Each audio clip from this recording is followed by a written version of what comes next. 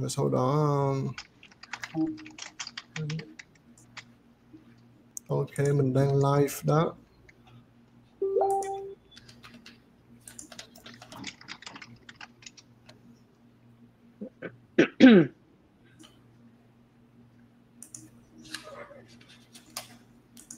Ok, mình live now. Rồi sau đang live đó. Để coi coi ở đây không?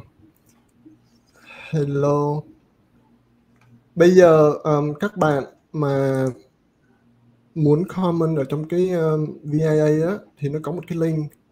Các bạn nhấp vào cái link đó để nó hiện cái comment của các bạn lên nha. Tại vì nếu như mình không có không có click vào đó để cho nó phép nó hiện tên mình lên đó thì mình sẽ không có thấy được cái tên. Ví dụ như cái này nó chỉ có ghi là Facebook user thôi. Thì đó okay, 5 người rồi. Mình các bạn đợi uh, khoảng 1 2 phút để cho các bạn khác vào nữa nhé rồi mình bắt đầu luôn.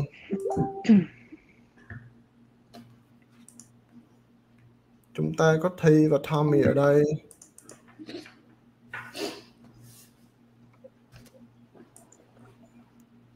Okay.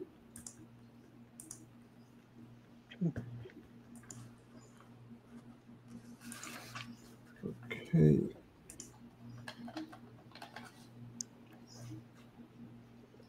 Bên đó vẫn nghe audio bình thường hết ha? Dạ. Ok. Cool. Có cái um, ở, các bạn vô ngay cái trang đó nó có cái link này nè, các bạn nhấp vô đó để cái comment của mình nó được hiện lên nhé.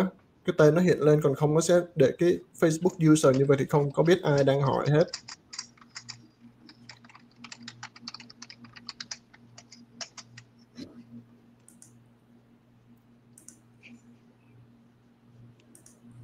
Ok, chúng khối test good.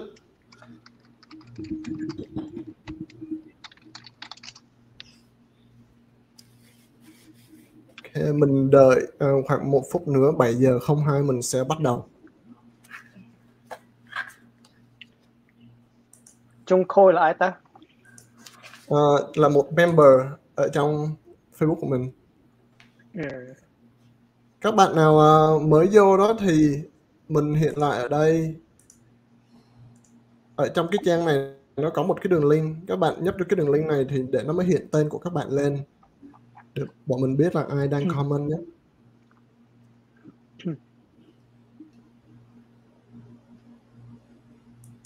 Ok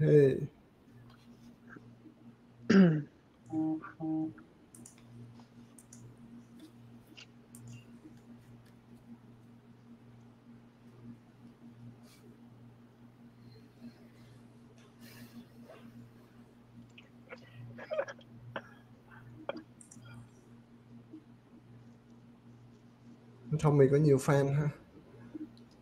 Đang là fan uh, trai không mà không có không có fan gái. Các bạn mà đang các bạn mà đang coi stream nó có một cái đường link này là các bạn nhấp vô đây nhá để nó hiện cái comment của các bạn lên nha. Chứ để Facebook user này mình không có biết ai đang comment hết.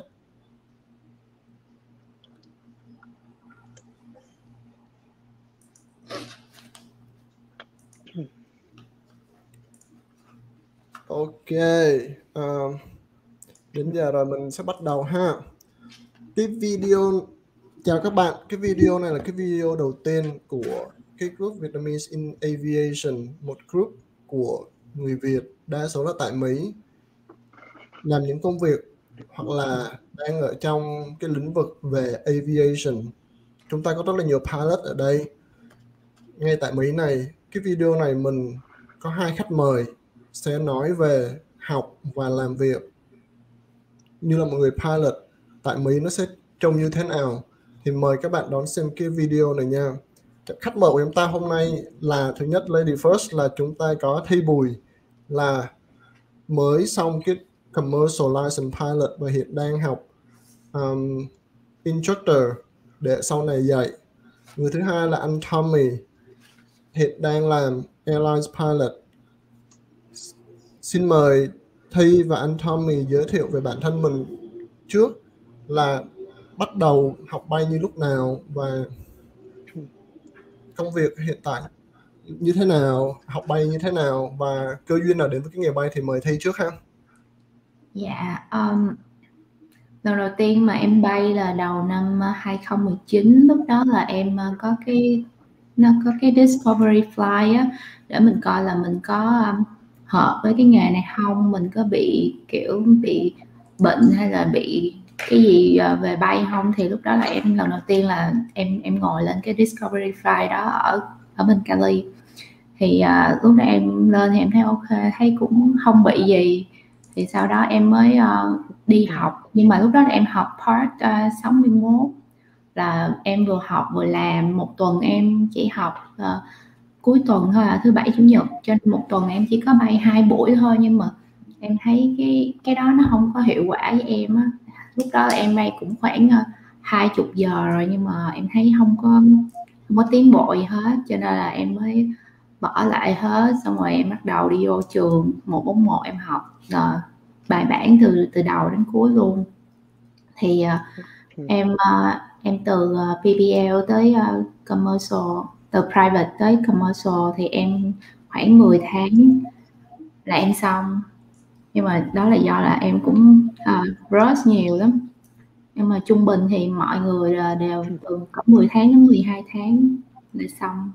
Thì bây giờ em đang học uh, instructor để mà em làm và em lấy uh, 1.500 giờ như mọi người cũng biết. Còn uh, Tommy như thế nào?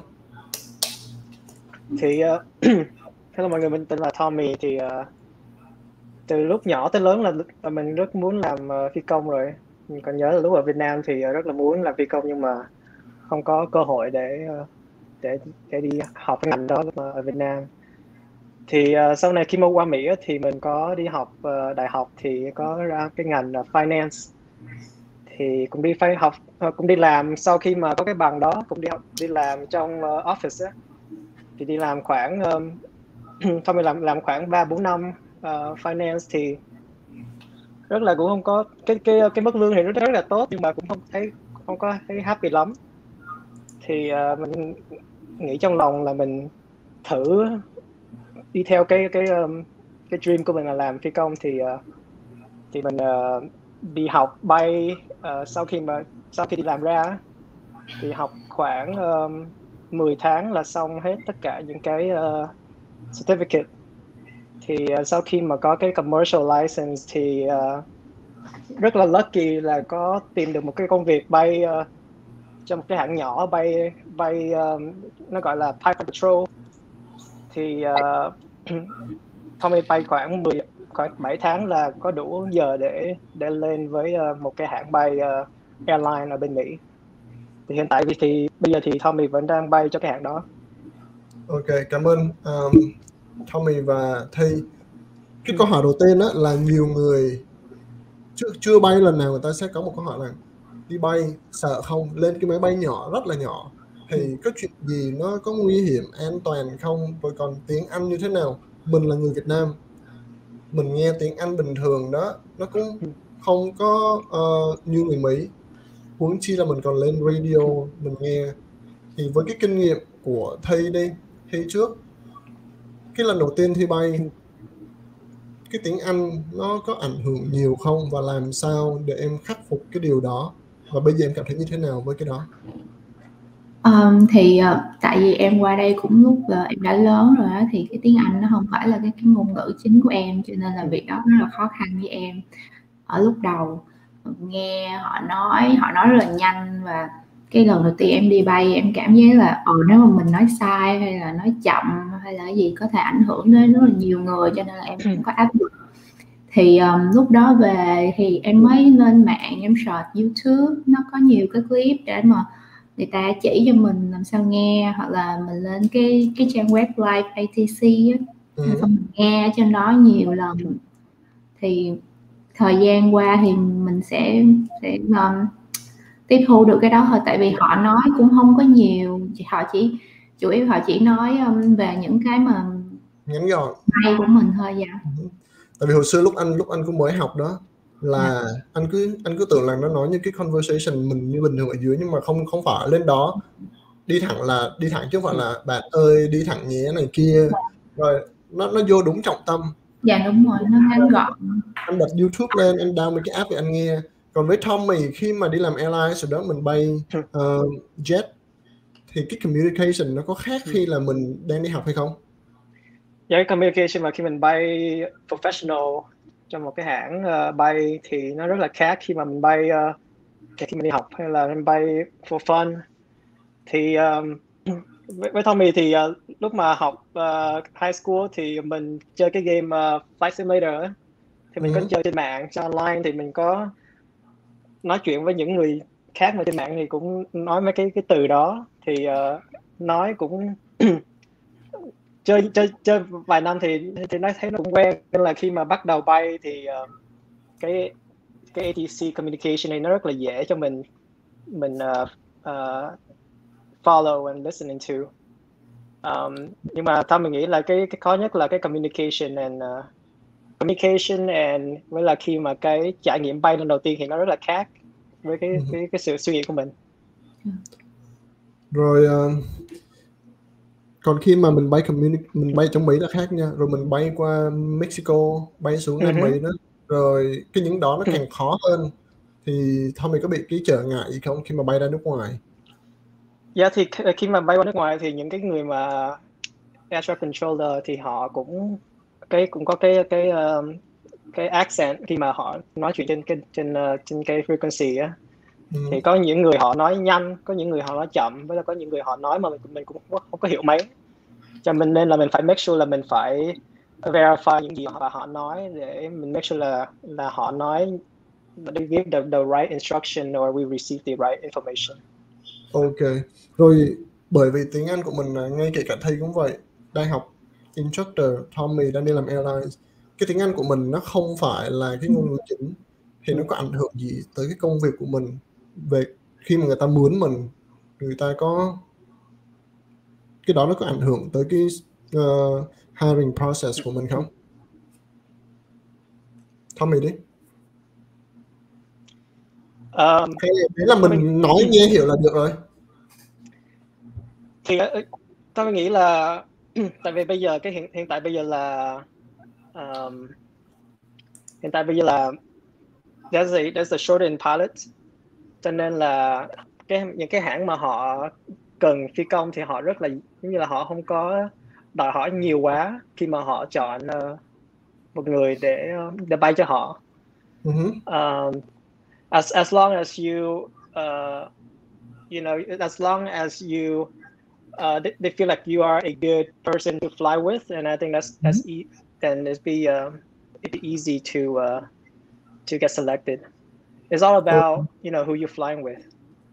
Ok, còn thấy sao? Em có thấy cái người instructor nào mà không phải là bi trắng không? Anh thì anh thấy rất là nhiều. Em thấy rất là nhiều luôn. Ở, ở nhất là cái chỗ Florida của em rất là nhiều. Ờ, với lại tại vì mấy bạn uh, ví dụ như Hồng Kông, Đài Loan hay là Hàn Quốc họ qua đây họ cũng phải làm instructor để họ ừ. cần giờ tại vì Korean Air hay là mấy hãng khác ừ. họ cũng đòi một ngàn giờ thì ở đây rất là nhiều instructor mà không có phải tiếng Anh là tiếng mẹ đẻ thì em thấy chuyện đó cũng không là vấn đề ừ. Vậy thì các bạn mà đang lo lắng về những cái điều này thì mình không nên lo lắng. Ừ.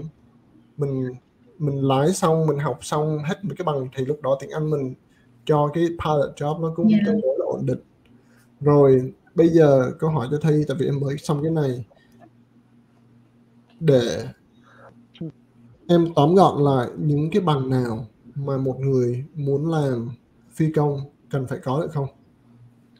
Um, thì uh, bằng đầu tiên mình phải có là nó gọi là bằng private pilot là cái bằng mà anh có thể um, bay một mình rồi anh chở khách nhưng mà cái bằng đó anh không có được kiếm tiền từ cái bằng đó thì ừ. nó gọi là bằng private rồi sau đó mình phải có thêm một cái bằng gọi là instrument để mà mình bay trong những cái điều kiện thời tiết xấu hoặc là bay uh, ở mây hay là gì. Tại vì không phải lúc nào mình cũng có thể nhìn thấy rõ. Thì mình phải có thêm một cái bằng đó nữa. Rồi nếu mà mình muốn kiếm tiền từ cái việc pilot này thì mình phải có cái commercial pilot.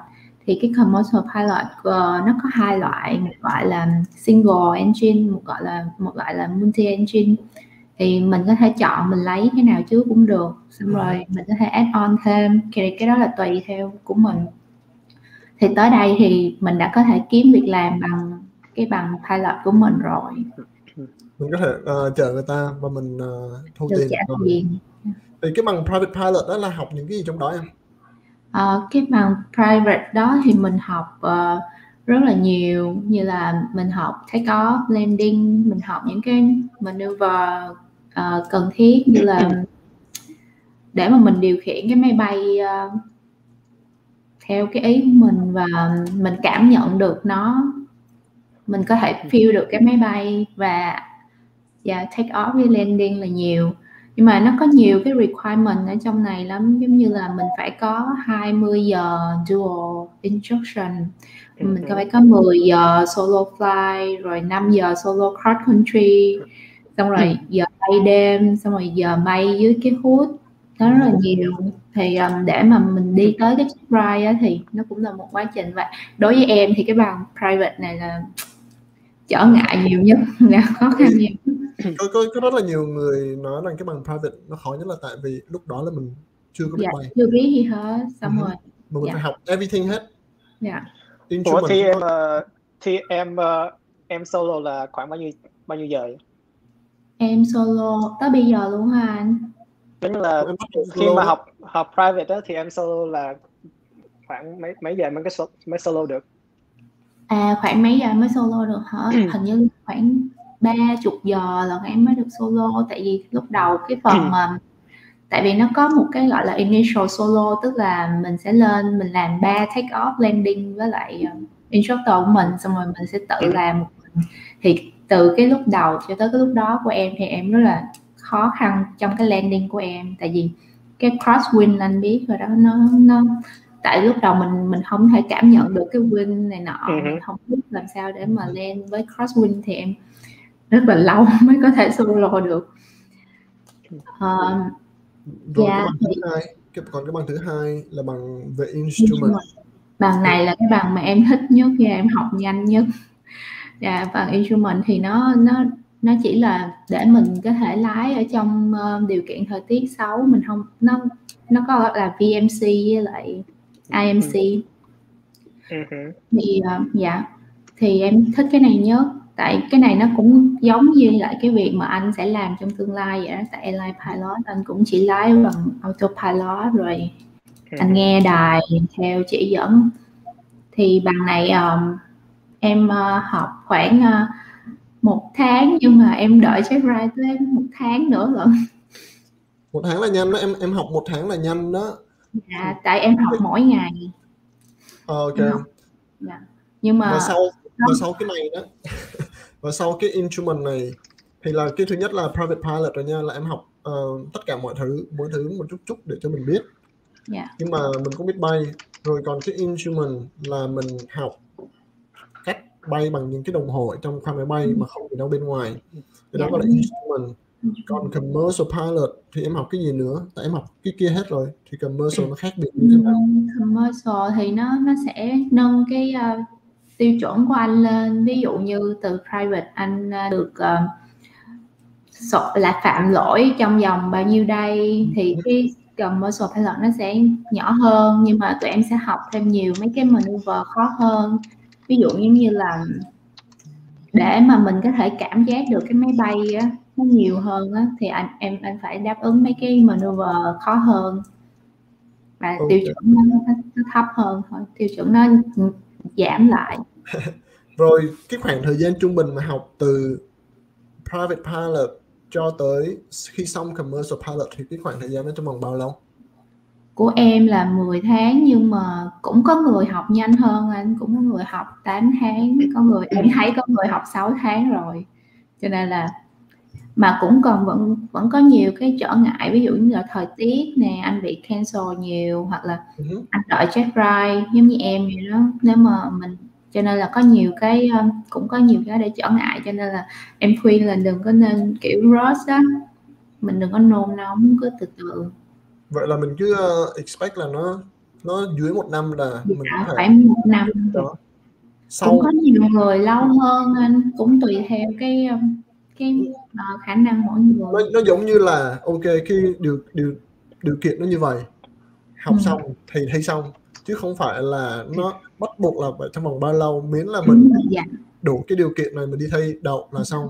Có người 6 tháng có người 2 năm có người 10 năm dạ không biết được đúng không rồi xong cái này là commercial. Bây giờ là em đang học CFI thì tí nữa anh sẽ quay lại với em tận phần CFI từ cái bằng kế tiếp đó nó sẽ là bằng bây giờ người ta có nhiều câu hỏi rằng commercial pilot có bằng như em rồi 300 tiếng. Đi lái jet được không? Lái phản lực được không? Thì anh Tommy take over cái phần này tiếp nhé. Giải thích cho các bạn rằng để lái được jet thì mình cần bao nhiêu tiếng và làm sao để mình có thể lấy những cái tiếng đó rồi cái bằng ATP là như thế nào thì mời Tommy Ừ. Yeah, thì nếu mà mấy bạn muốn bay cho một hãng bay uh, commercial airline thì um, thì mình phải có cái bằng ATP nghĩa là Airline Transport Pilot. Um, thì với cái bằng đó thì mình phải có ít nhất là một ngàn rưỡi tiếng nếu mà bạn lấy cái bằng ở bên Mỹ. Còn những nước khác thì mình chỉ cần có cái bằng commercial thôi là mình, mình có thể lấy cái cái bằng đó. Um, you know, in, in my personal opinion, um, to be able to fly a jet uh, comfort, comfortably, you probably need like about khoảng um, 500 tiếng, 500 giờ bay gì đó ít nhất. Tại vì Ừ. uh, bay máy bay phản lực thì nó rất là nhanh, cho nên là mình phải have to be on point, have to be, you have to um, be ahead of the airplane. Cái đó cái từ mà mà bên cái ngành hay họ hay nói là you have to be ahead of the airplane. Thì uh, transition từ bay Cessna mà bay tới phản lực thì nó rất là rất là khác nhau rất là xa xa vời. Nên là um, yeah I think having at least like 500 hours and you feel comfortable. Um, với Tommy á, thì mà khi mà Tommy bay bắt đầu bay cho airline á, thì Tommy phải bay maybe khoảng uh, 400 tới 500 giờ cái cái cái cái máy bay đó mới có mấy cái feel comfortable uh, để, để, Ừ. để, để điều khiển máy, máy bay đó. Bây giờ như xong thi là 300 tiếng có bằng commercial pilot rồi. Từ 300 tiếng lên 1.500 tiếng thì chúng ta có những cái cách nào để chúng ta build được giờ?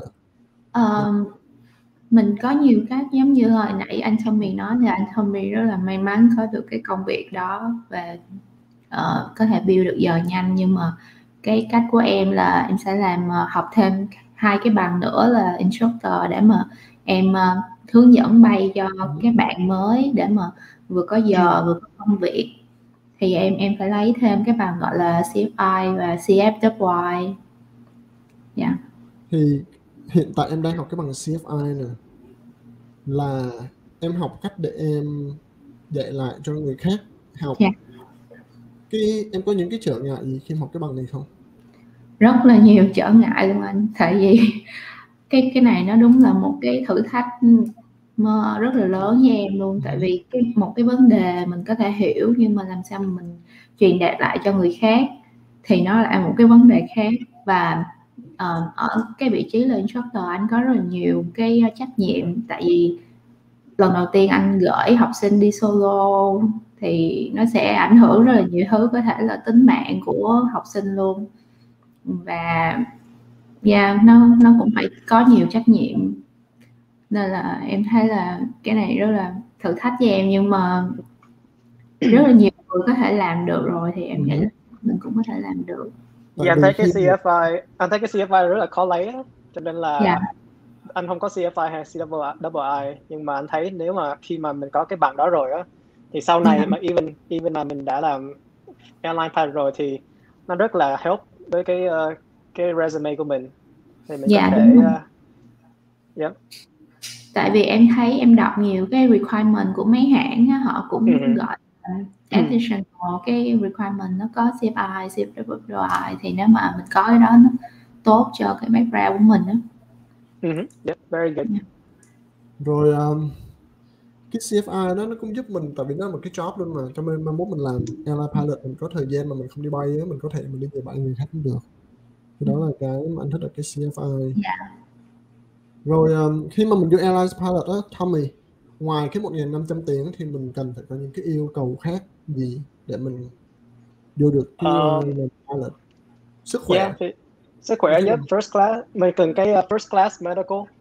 Thường thường thì mình bay um, um, mà mình đi đi đi um, đi training day, during training, you don't need the first class medical. You, you need Mhm. to you have to have at least a third class medical.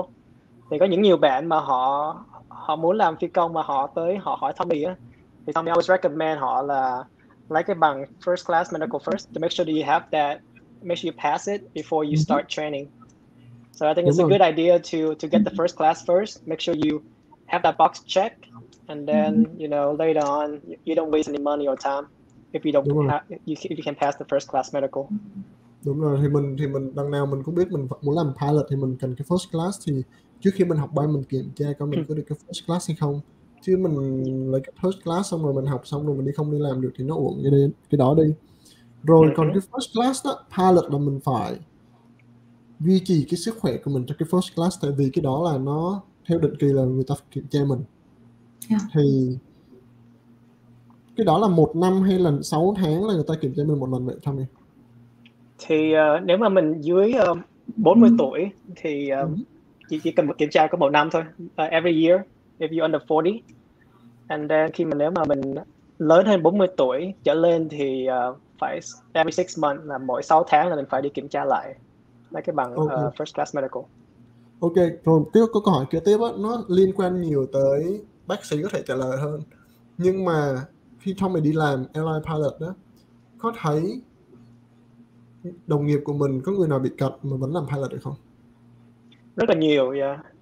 mà người, cận- người cận cũng có mà người mà nghe không rõ cũng có nữa Ồ, tại vì Yeah.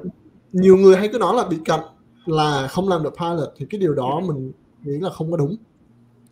đúng vậy yeah, chính xác Ừ. thì uh, as long as cái uh, mình đeo cái mắt kiến đeo glasses thì nó mình thấy 2020 is is, is okay corrected corrected 2020 nó gọi là như vậy Ok, Ừ. rồi sao thấy? Dạ, em muốn bổ sung là tại họ chỉ quan tâm là anh có bị mù màu hay không thôi. Ừ. Chứ còn bị cận hay không thì nhưng mà nếu mà mù màu thì chắc không không được. Như- Dạ. Rồi còn bây giờ mình nói về cái phần mà học phí đi. Khi mà học PPL cho đến cái commercial pilot license đó thì học phí nó trung bình nó rơi vào khoảng bao nhiêu? Và đa số cái tiền đó nó nó là cái tiền gì vậy thi À, đối với em á, ờ, từ ờ, PPL tới commercial của em thì em mất uh, 63 ngàn. Đó là tại vì em rất là nhiều giờ và em bị khó khăn trong cái PPL thì em mất sau khoảng 63 ngàn đó là chỉ là tiền bay của em và tiền ờ, tại vì ở trong trường em nó họ phải có một mấy cái buổi oral để mà một với một để mà instructor Ừ. với mình có thể ờ, trao đổi kiến thức á và trường em có rất là nhiều cái uh, stake để họ check trước khi mà anh đi check ride tại nó muốn make sure là học sinh pass check ride cho nên là nó có nhiều cái check lắm thì uh, một giờ bay của trường em á là bay Cessna 172 có G1000 thì uh, 300 đồng một giờ. Dạ và thêm tiền uh, instructor khoảng uh, 20 maximum là 25 đồng nữa là khoảng 325 đồng cho một giờ bay. Ừ. Ừ. 25 đồng là rẻ 25 đồng cho CFA là rẻ đó. Hồi xưa anh học là máy bay Cessna thôi nhưng mà nó lấy có 90 đồng nhưng mà instructor nó lấy tới 65 đồng lận. Wow thì cách tùy nơi. Dạ, trường em chỉ lấy 25 đồng là maximum cho cái tiền instructor thôi một giờ. Nhưng mà lucky là tại vì trường em họ có một cái ờ, sân bay riêng và Ừ. mình không có phải đợi về cái giờ trong taxi này nọ. Anh biết nếu mà anh bay ở mấy cái sân bay lớn anh phải xếp hàng đợi taxi này nọ thì cái giờ đó lúc mà anh đợi anh cũng phải trả tiền nó rất là uổng. Thì Đúng rồi. Thì trung bình một, một buổi bay của em thì chỉ khoảng một tiếng rưỡi thôi là khoảng 400 mấy. Mỗi lần xuống ký check đau lòng. Dạ. Rồi, rồi còn anh Tommy khi mà mình đủ 1.500 tiếng mình vô airlines nó có một cái gọi là type rating Ừ. cái type rating đó là nó giống như là một các bạn um, đang theo dõi cái type rating nó giống như là một cái chứng chỉ để mình bay cái loại máy bay đó Ừ. mình phải chứ không phải là mình đủ 1.500 tiếng là mình lên mình bay khi mình chưa học thì Ừ. mình sẽ không biết bay thì cái Ừ. type rating đó đó cái công ty nó sẽ hỗ trợ cho mình hay không hay là mình phải tự bỏ tiền túi ra để mình học Yeah, thì cái uh, type rating um, ở bên Mỹ thì cái công ty mà họ mướn mình để bay cái bay đó thì họ phải uh, take care cái cái tiền để train cái train mình lấy cái type rating đó. Uh-huh. Um, thì uh, trung bình một cái type rating thì khoảng uh, uh, có thể tùy cái bay uh, từ ít nhất là 10.000 tới 40.000 đô là cho cái type rating đó. Thì mình có phải à, có cái sự ràng buộc gì khi mà công ty nó trả cho mình như vậy không? không không nó không có cái ràng buộc nào hết chỉ có miễn sao là mình pass cái cái uh, cái type rating đó thì mình sẽ bắt đầu uh, làm cho công ty đó còn nếu mình không ừ. pass thì uh, mình thì họ sẽ họ sẽ fire mình hay là họ họ let mình go và nó sẽ vào cái cái um, cái record của mình ừ. vậy là vậy là cái nghề pilot nữa trước trước khi mình tiếp tục thì các bạn nào mà comment á ở ngay cái video này nó có một cái link các bạn nhấp vào đó thì nó mới hiện lên là ai đang comment cái tên gì nhá. Chứ ở đây mình không có thấy được ai đang comment hết. Mình chỉ có thấy cái nội dung thôi mình không thấy cái tên. Thì mình quay trở lại. Sao? Hey Francis, hình như là hồi nãy có một cái bạn họ tại vì nãy mình có nói chuyện về cái cái tiền để để đi uh, học bay á. Thì ừ. hồi nãy có một bạn họ uh, có một bạn bạn hỏi là học CPL thì có có lấy loan được không? Student loan student loan được không? Cái đó một ừ. câu hỏi của một cái bạn trên uh, Facebook á. Rồi vậy hai bạn có ai trả lời được câu này hay không? Dạ em đang học bằng student loan nè. Uh-huh. thì student loan này thì nó như thế nào? Em mượn như thế nào? Um, em mượn em mượn thì nó có cái uh, trường em nó có hai hai loại đó là Wells Fargo với lại Salome. Thì em apply cho Salome rồi uh, họ sẽ check cái background của anh rồi họ check cái credit của anh. Uh, nếu như mà bạn có um, có credit tốt này nọ thì họ sẽ approve trên cái cái background của bạn. Nhưng mà nếu mà bạn không có thì bạn cần cái người sponsor. Thì bạn chỉ cần tìm một cái người sponsor giống như là người thân bạn bè. Thì họ em thấy họ approve cũng nhanh lắm và dễ lắm. Cũng không ừ. có không có nhiều tại vì Salama nó liên kết với nhiều trường bay lắm. Mình ờ, mình ờ, mình mượn bao nhiêu cũng được hay là nó sẽ trả thẳng vào trường mình?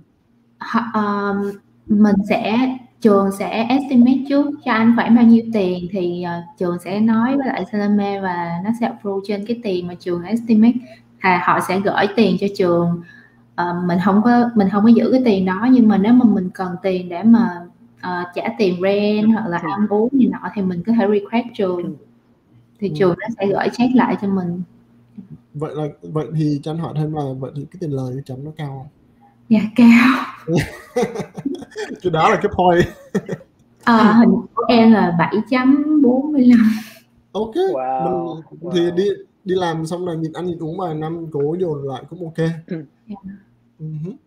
Rồi uh, câu hỏi kế tiếp đó nó sẽ là trong cái quá trình học từ chưa biết gì cho tới commercial pilot hoặc là ATP như Tommy thì hai bạn rút ra được cái kinh nghiệm gì để chia sẻ cho các bạn khác về uh, cái kỹ năng học nè và tiết kiệm tài chính khi học?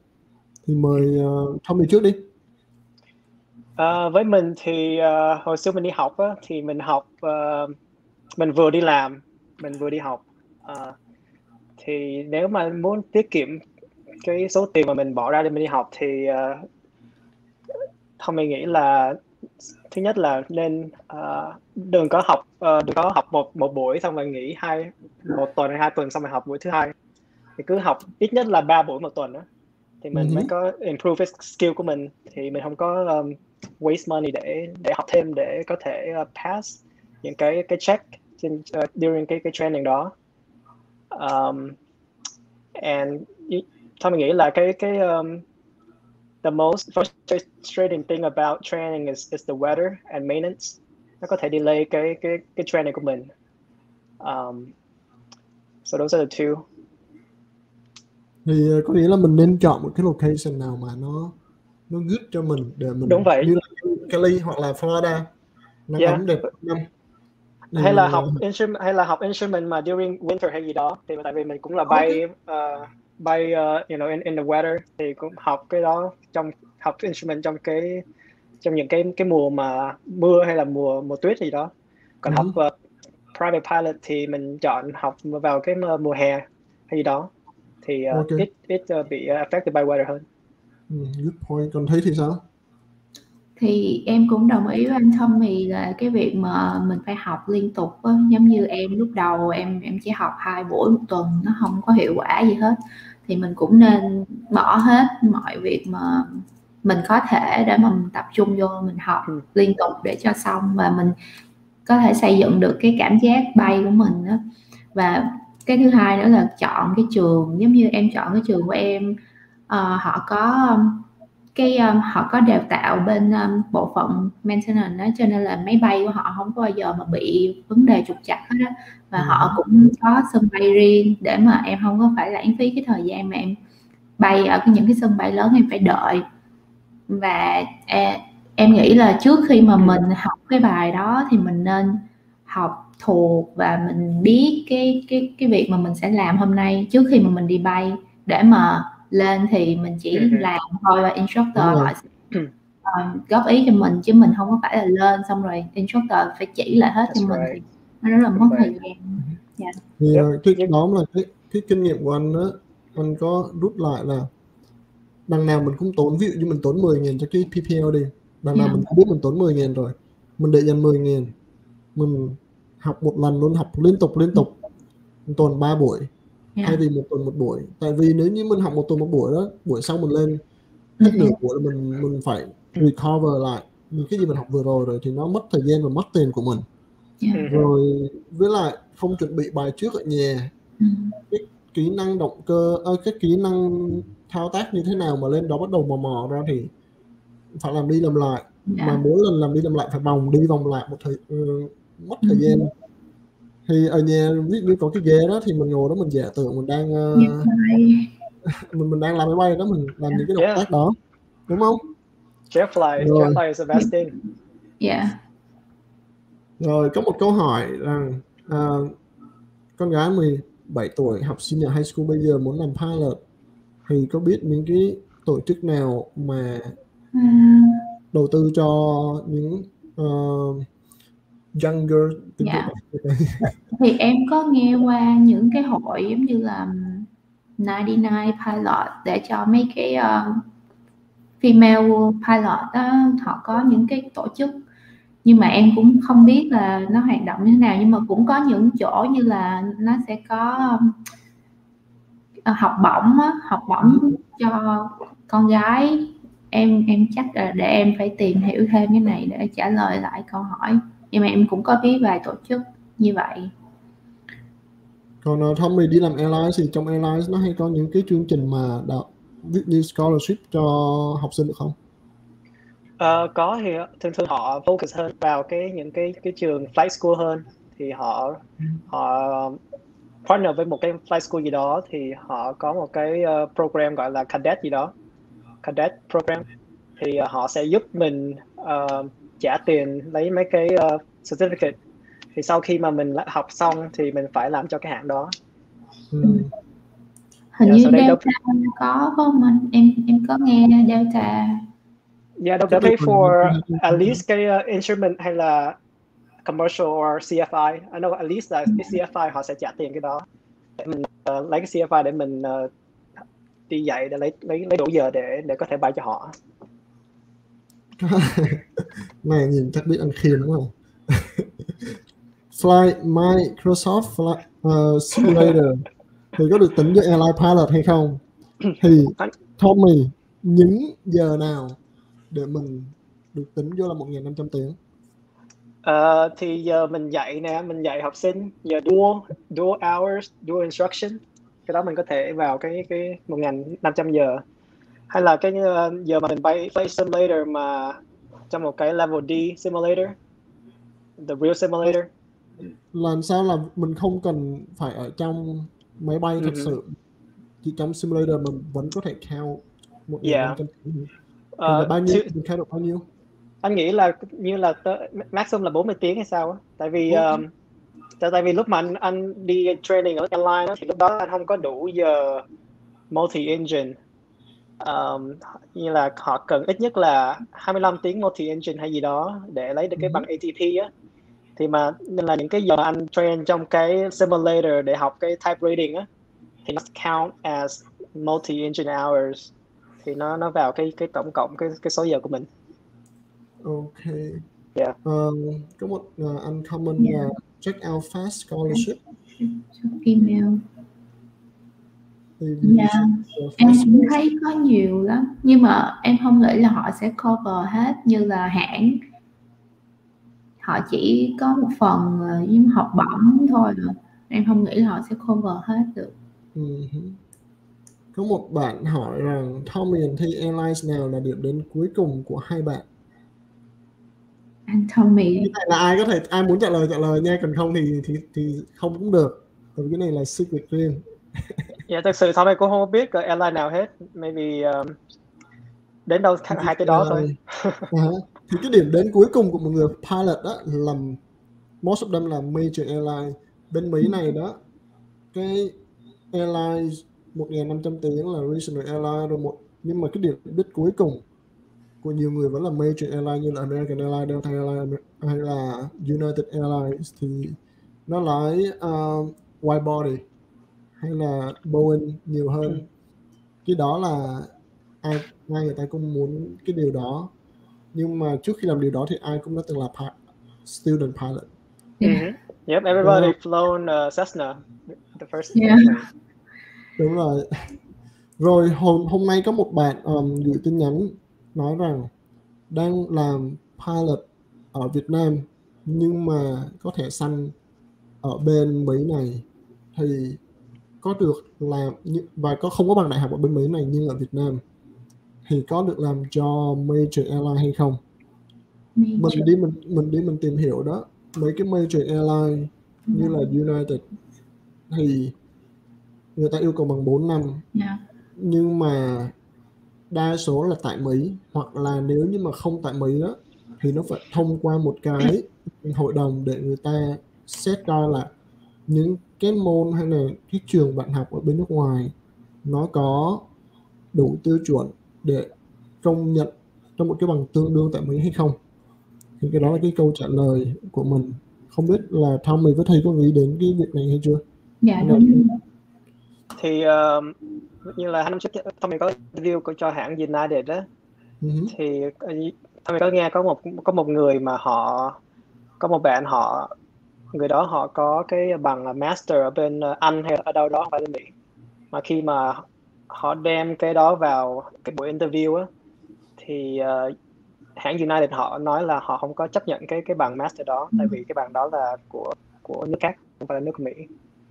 Cho nên mình nghĩ là cái bằng uh, cái bằng university bốn năm university là nó phải ở ở, ở bên Mỹ nó không có count là overseas.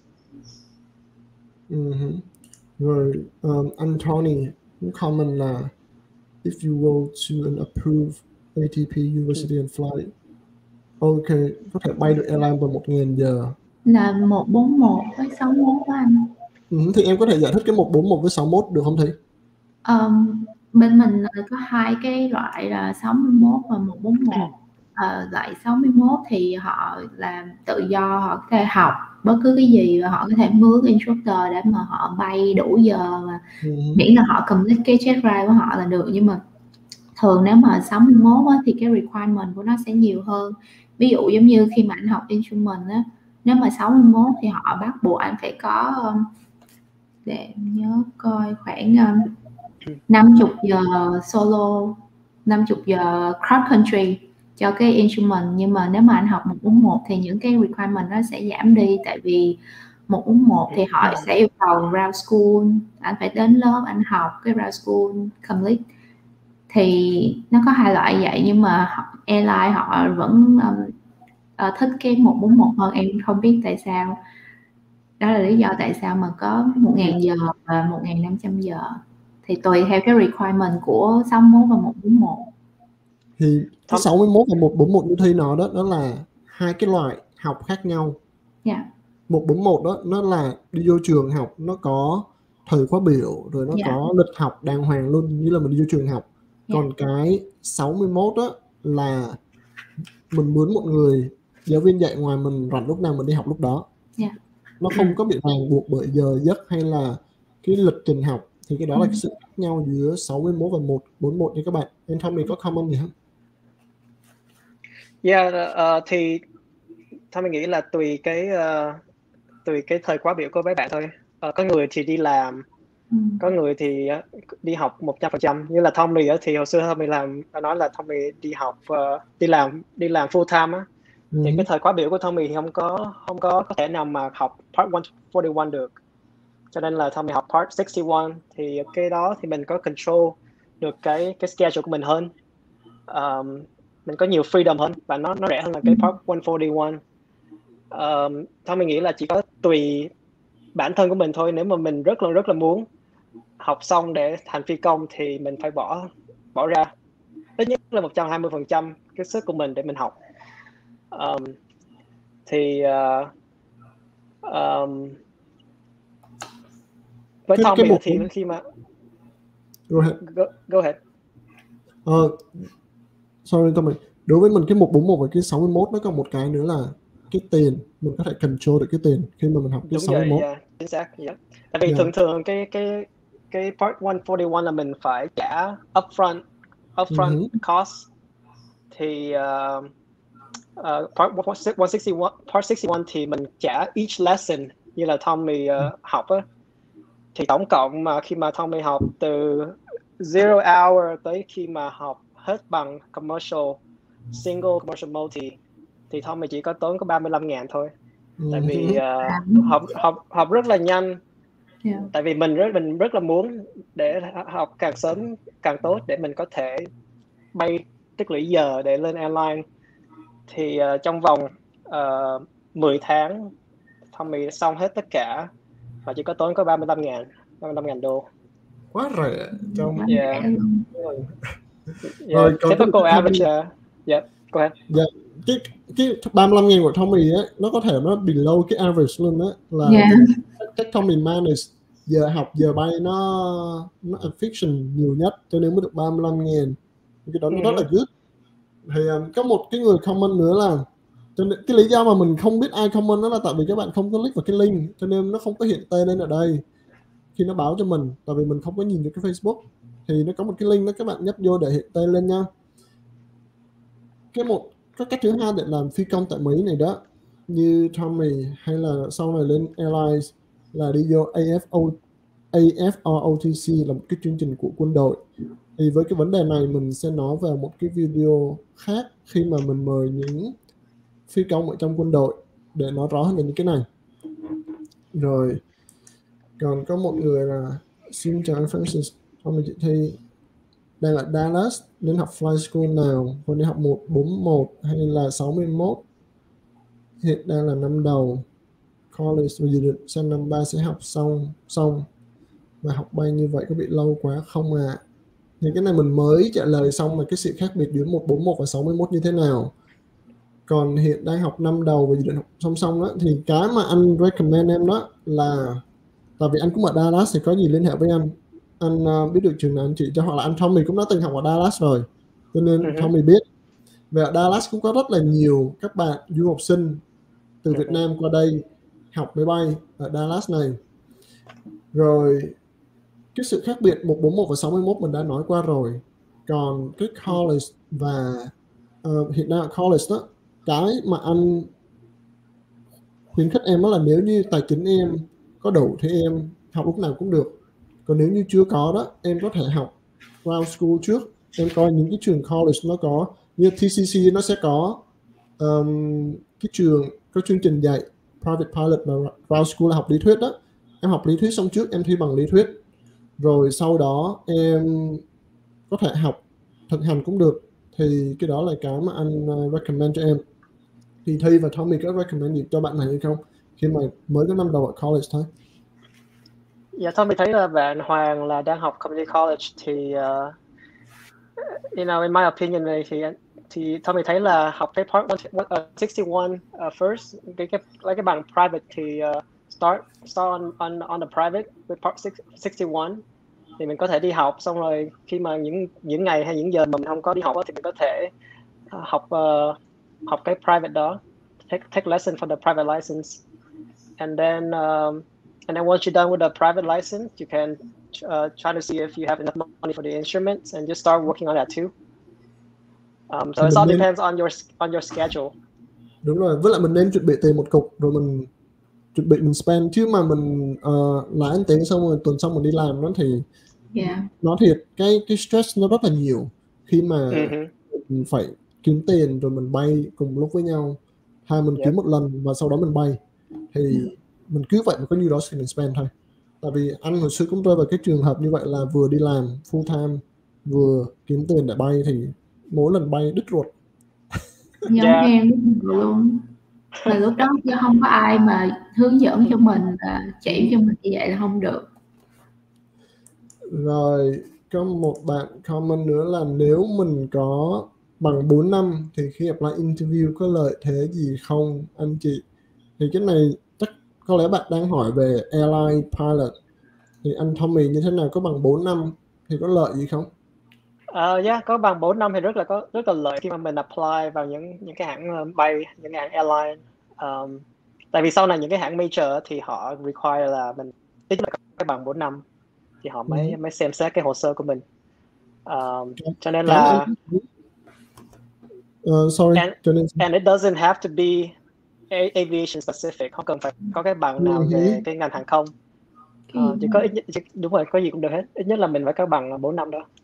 đúng rồi rồi hoặc là một cái đường khác đó mình cũng có thể recommend là nếu như mà bạn tại vì 1.500 tiếng là mình mấy cái regional airline có bắt buộc bằng 4 năm không ta chưa phải dạ Đúng không? không dạ ok anh cũng có thấy rất là nhiều người đi ờ, bỏ tiền đi học trước xong rồi sau đó khi vô làm pilot ở regional airline rồi sau đó người ta học song song bằng 4 năm để ờ, thứ nhất tiết, tiết kiệm thời gian và sau đó được cái bằng 4 năm và giờ bay cũng đủ rồi.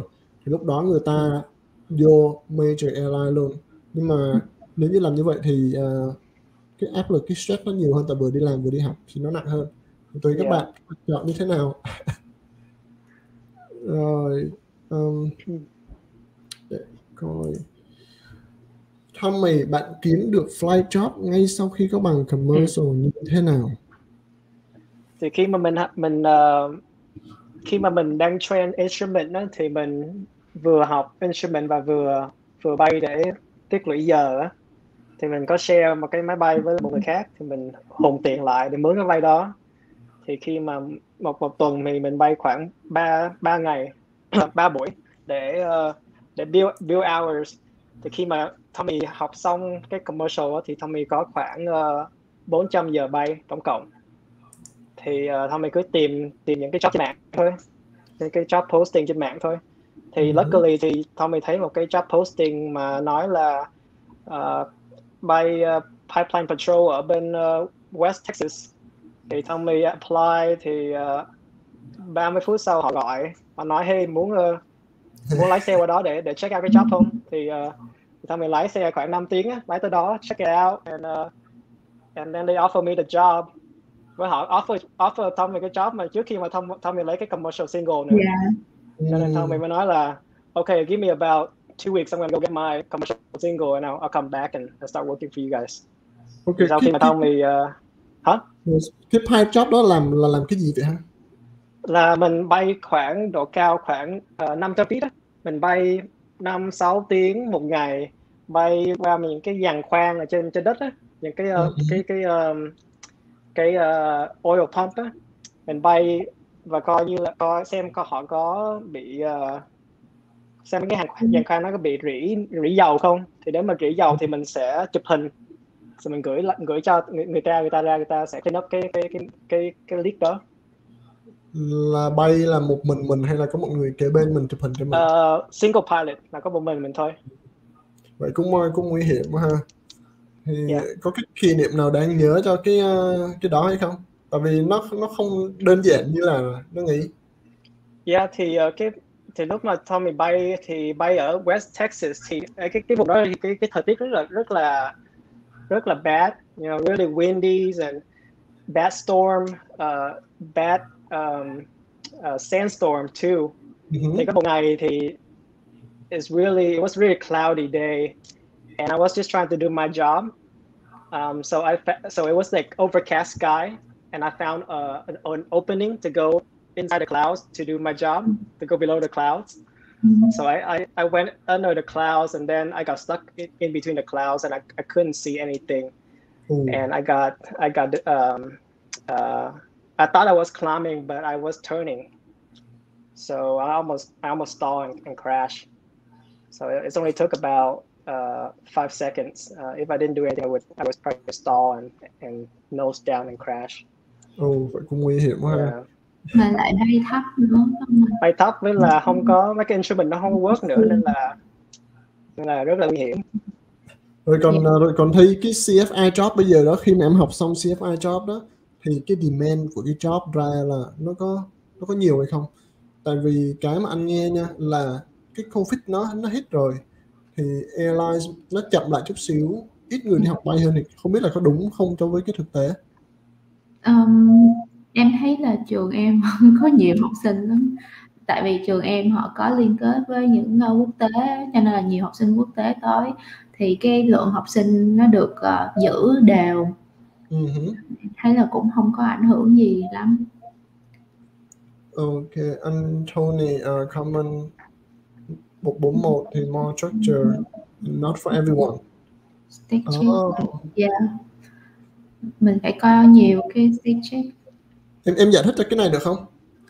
Ờm, giống như một cái uh, khi mà lấy một cái bằng BBL của em á, bình thường nếu mà anh học anh chỉ cần đủ cái giờ bay đó là anh đi check ride anh cảm thấy anh ờ, tự tin là anh đi check ride rồi. Nhưng mà khi mà anh học một bốn một thì trong trường nó sẽ có những cái buổi nó sẽ chia ra mỗi thường là tụi em có bốn cái stack ờ, một hai ba bốn và họ sẽ có một cái người gọi là check pilot họ sẽ check những cái um, cái việc mà anh phải làm trong cái stage đó và nếu mà anh fail thì anh lại phải review với instructor của anh xong rồi anh lại phải thi lại một lần nữa thì nó cứ lặp đi lặp lại như vậy bốn lần trước khi mà anh đi cái cái ride thật sự cho Nhưng nên mà tại sao mất nhiều thời gian Ừ. và tiền bạc hơn nhưng mà ở trong ở trong cái 141 đó khi em em stay check như vậy đó mà em fail nó có vào cái hồ sơ của em sau này không?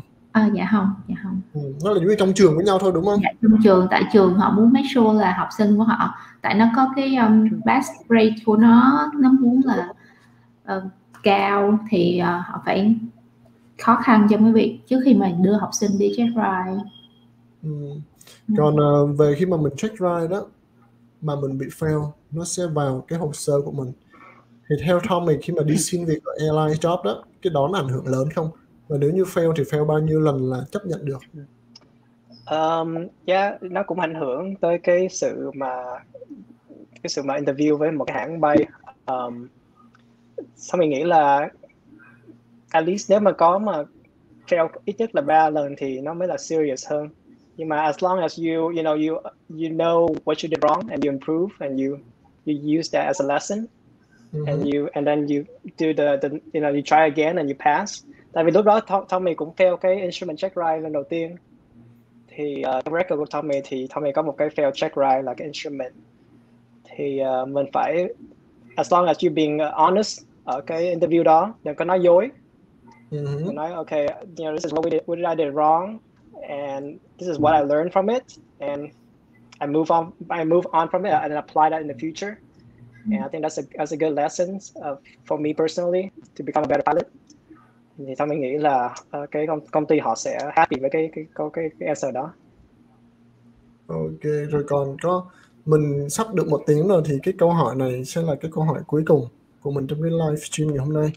Tại mình mình cố mình cho nó vào khoảng một tiếng thôi. Thì học private và commercial chi phí là khoảng bao nhiêu vậy và thời gian đào tạo khoảng bao lâu?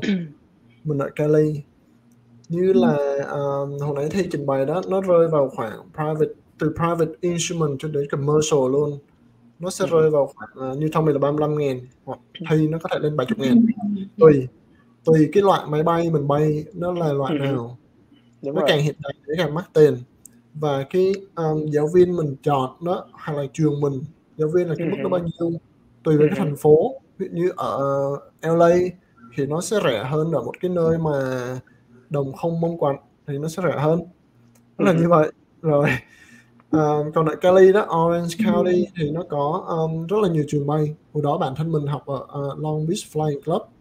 Ờ.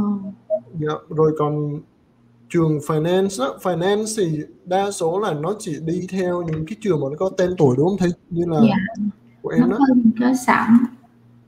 Ừ, giống như ATP nó có nó có hệ thống với finance của. Economy um, nhưng mà ATP nó sẽ mắc hơn cái điều đó. Thì đó là như vậy. Ở Orange County nó có rất là nhiều trường bay và cũng có rất là nhiều anh chị um, ở trong VAA ở Orange County. Hử. reach out đến mấy anh chị đó có thể thì mấy anh chị đó có thể giới thiệu cho bạn cái trường nào nó tốt nhất. Để, để học. Thôi mình nghĩ là realistically là mình expect uh, khoảng 70 tới 80 ngàn để mình, để mình hử. có thể có thể uh, thoải mái. uh, thoải mái đúng rồi. đúng rồi rồi à, vậy là mình tóm gọn lại nha để trở thành pilot ở Mỹ này đó từ zero cho tới airline pilot như Tommy thì nó sẽ là private pilot nè instrument commercial pilot và multi engine của commercial pilot và sau đó mình được 300 tiếng sau khi mình có cái bằng commercial pilot 300 tiếng là mình ước lượng thôi nó có thể nhiều hơn hoặc là ít hơn tùy mỗi Ừ. người từ 300 tiếng đó lên 1.500 tiếng mình có thể làm những mình có thể bắt đầu mình kiếm tiền để hử. mình build mình có thể làm CFI dạy ta học hoặc là pipeline như uh, Tommy và còn những cái job như chở khách đi tour vòng vòng vòng ở Hawaii hay là những cái khu du lịch mình cũng có thể làm điều đó đến khi mình lên được 1.500 tiếng Ừ. mình bắt đầu mình apply vô ờ, cái license là ATP cái ATP license là mình trả tiền hay là hãng cũng trả tiền vậy Tommy Ờ, thì hiện tại thì cái những cái hãng mà regional những cái hãng airline regional thì họ sẽ trả cái tiền đó cho mình để mình lấy cái bằng đó. Hứ. Um, với là thôi mình cũng muốn nhắc với bạn là cũng không cần phải vào airline đâu nó rất là nhiều những cái ngành khác khi mà mình xong commercial mình có thể bay cargo mình có thể bay private uh, charter mình không cần phải nhất thiết phải là airline thì nó rất là tùy vào bản thân của mấy bạn là mà các bạn muốn làm làm những cái gì sau khi các bạn có cái cái bằng uh, commercial Ừ. Yep. rồi tại vì ờ, em cũng thấy trong group mình cũng có một ờ, một member um, 1.500 tiếng hay là hơn 2.000 tiếng sau khi bay cho Regional Airlines thôi nhưng mà bây giờ bay qua bay cho cargo bay triple seven Ừ. cái đó nó vẫn là good nếu như bạn muốn bay um, wide body Yep. vòng quanh thế giới thì cái đó một sự lựa chọn cho các bạn luôn rồi có một bạn comment là ở Houston đang tính học Texas Flight có ai biết trường này chưa ạ cho xin ý kiến thì cái này Houston chắc Tommy ờ, có nhiều kinh nghiệm ha Um, thật ra thì uh, Tommy thì bay học bay ở Austin, Texas thì nó cũng không phải là ở Houston. Nhưng mà um, yeah, I want to answer that question.